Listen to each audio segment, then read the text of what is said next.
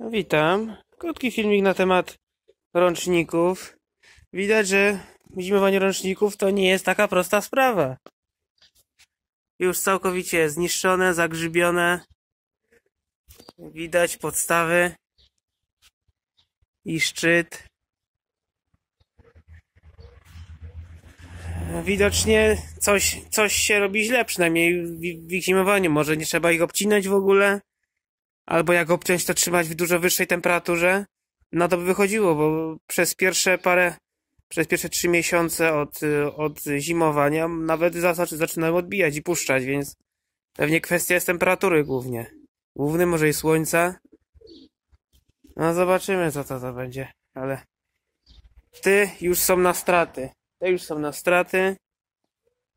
I zaraz ukariam jeszcze jeden czerwony, też zniszczony. Reszta zimujących roślin nawet sobie radzi. Tutaj żudoka od, od drugiej strony, od tyłu, że tak powiem. Czy się nie miałem tutaj dostępu?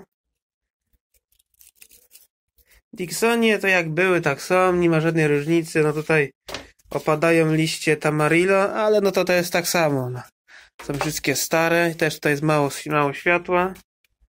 Jakoś to to wszystko jest. No i tutaj reszta. Tutaj po, wziąłem maścią ogrodniczą mm, Tamarillo, które rosło w gruncie. E, wcześniej, bo zaczynało gnić od góry. No a widać, że chyba się zatrzymało to, to gnicie. A reszta, no to tam dużo się tu już nie zmieniło. No to Tamarillo jak zaczyna kwitnąć, tak zaczyna kwitnąć, ale z tych kwiatków to wiadomo, tam razie chyba nic nie będzie.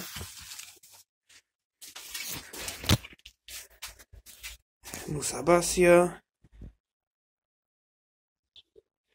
A czyli podsumowując, pierwsza próba z zimowaniem się nie powiodła.